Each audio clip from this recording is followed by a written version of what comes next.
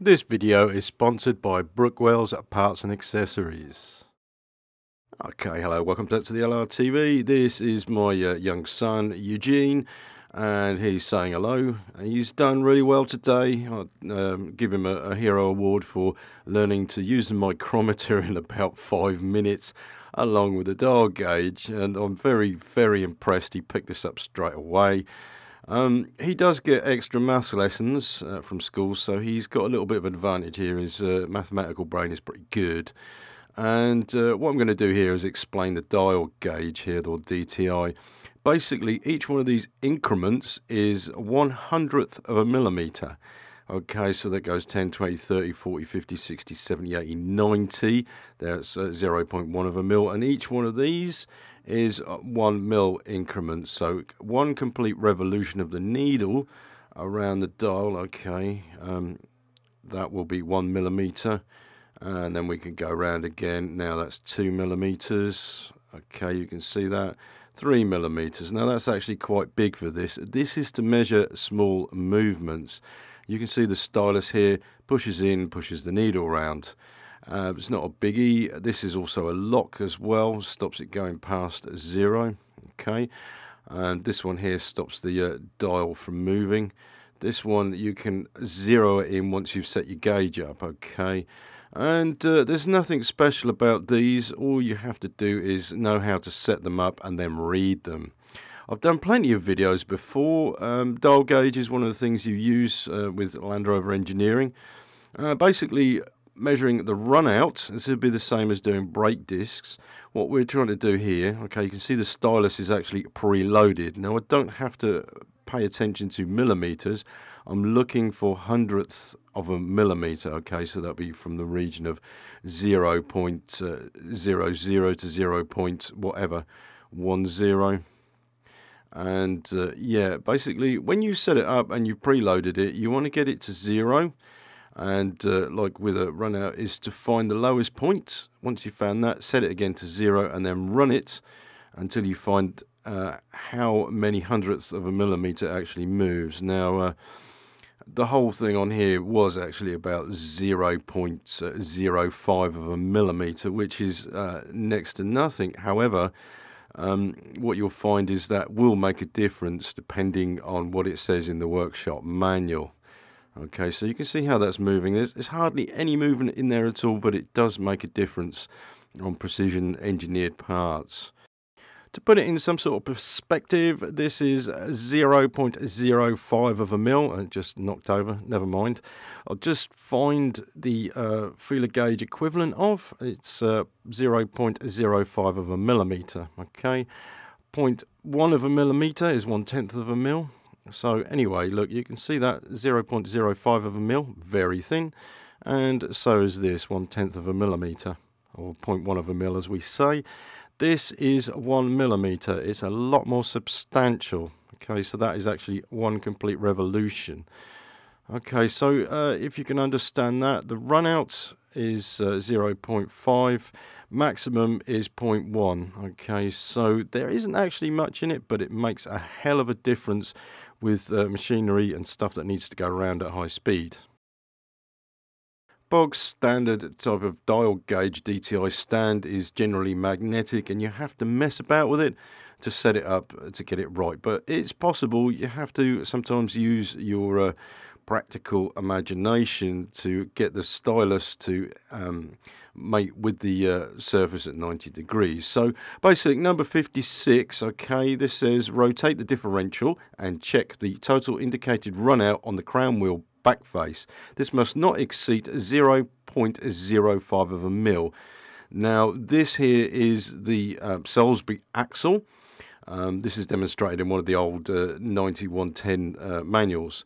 And what we have here is a Salisbury axle. Eugene's gone about setting up the DTI and uh, he's now going to check this for me. And this was actually um, 0.05, it was just within tolerance.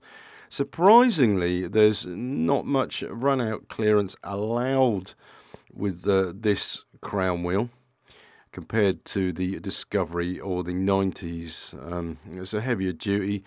Basically, there's a lot more setting up to do in these than there is in uh, the other diffs that we're showing at the moment. So, um, yeah, basically, we're just running on the edge of the crown wheel here, and it, that goes up to 0.05 of a millimeter, which is uh, five hundredths of a millimeter. Okay, yeah. So uh, on the uh, 90 uh, or the 110 front diff, this should actually the crown wheel run out is a lot more generous at 0.10 of a millimeter.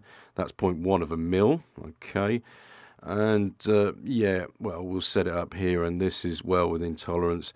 Basically, with these, what you do is you run round the uh, crown wheel okay, until you found the, find the lowest point where the needle drops below zero, and then you'll zero it in, run it round again until you see the highest point. Now he's got the lowest point here, and then he's got a zero in, which can be a bit of a pain.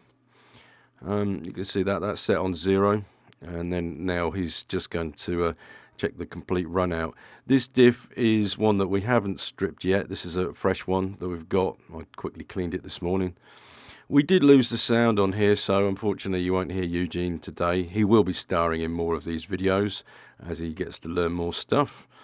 And basically, yeah, okay, he's he's got the uh, reading off that, and he's now got to record it. Okay, so if uh, one tenth of a millimeter is uh, maximum permittable, um, we're just writing this here. It's actually 0.05 uh, of a, a mil. Okay, 0.05 mil run out, which is acceptable. Okay, the the less run out, the better. Obviously, if it fails that, then we've got to investigate. But at this point, we don't have to. He's happy. He's learned something. That's good. Yeah. Well done, Eugene. That's uh, one thing that you've got under your belt now. Okay, in a workshop manual, you'll find that you'll have some figures and it will mention a Salisbury axle, a pre-rationalised axle and rationalised axle. This is in relation to a height setting block.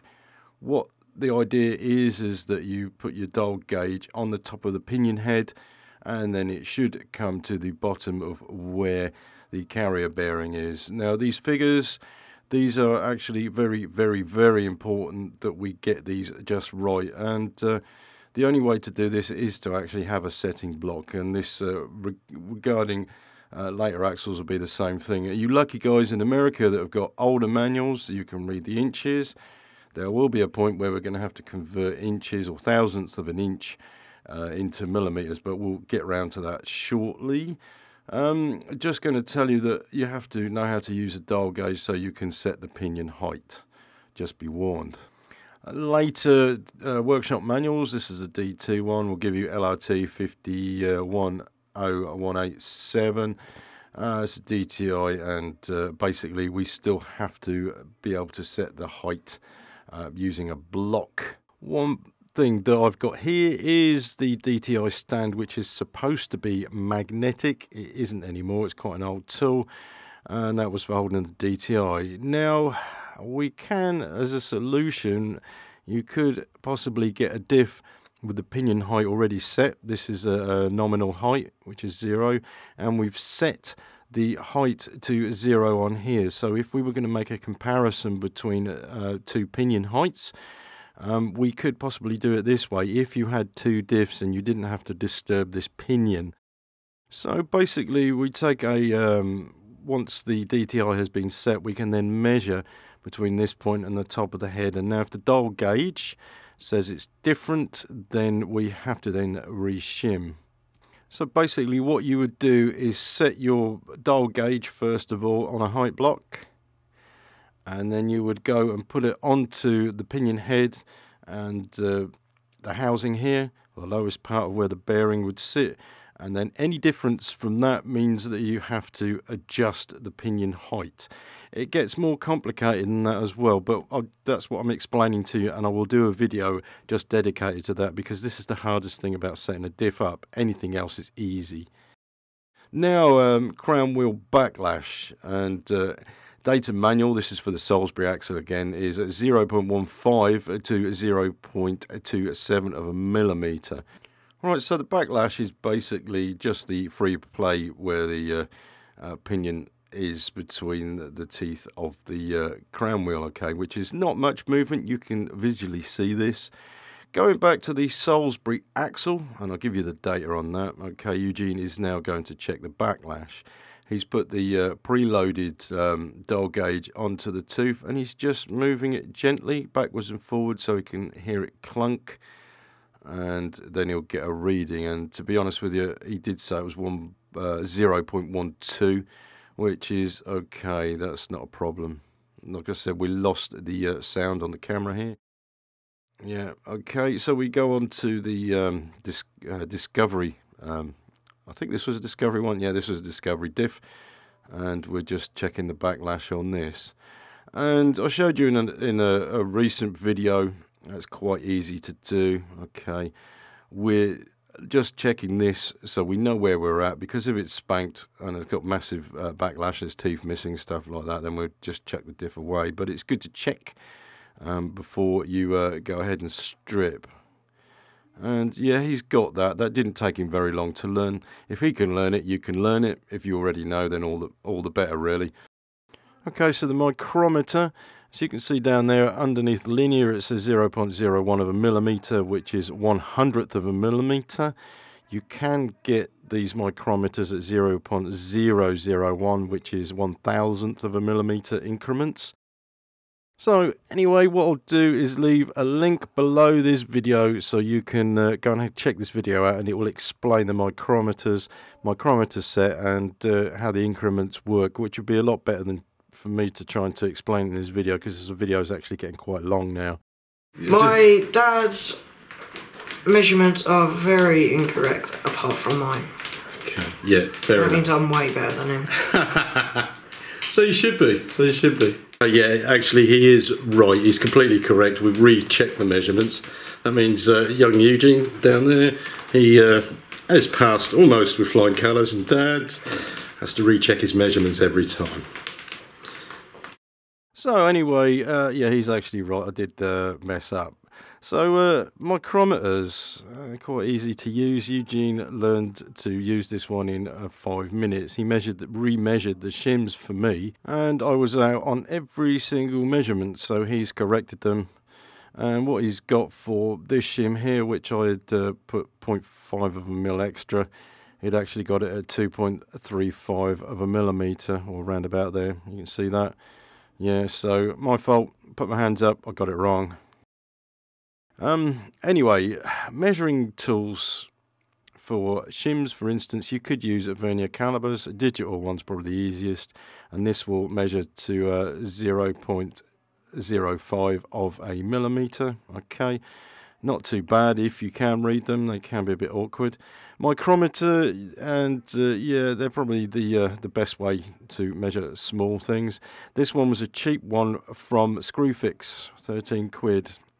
Uh, this kit here cost me about 100 and something pounds and I have a lot more micrometers in them and uh, 0 to uh, 25 mil uh, it looks roughly the same and we're going to do a test on this to see how good um, cheap micrometers are one thing you should always always do is to zero your micrometer in every single time you use it you pick it up zero it in check it and then measure Anyway, right, so we'll start and uh, what we're going to do is zero both of these in. So we're set at zero and uh, we use the thimble to, uh, to ratchet it up.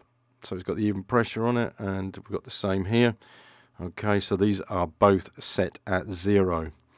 Um, point being here is that if you're not at zero, it goes out straight away. You get the wrong readings. Right, so we're going to measure this shim, which uh, Eugene measured at 1.85 mil and I'll uh, use the uh, cheap Screwfix one first of all and then I'll show you what measurement we've actually got.